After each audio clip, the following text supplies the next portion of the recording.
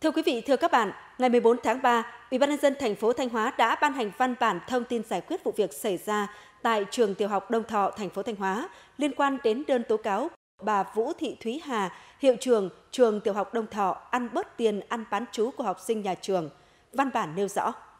Sau khi cấp ủy chính quyền thành phố Thanh Hóa nhận được đơn tố cáo kèm theo file ghi âm và các nguồn đơn của cấp trên chuyển đến để giải quyết vụ việc đúng theo quy định, đảm bảo tính nghiêm minh của pháp luật, Ủy ban nhân dân thành phố Thanh Hóa đã có văn bản chỉ đạo cơ quan cảnh sát điều tra,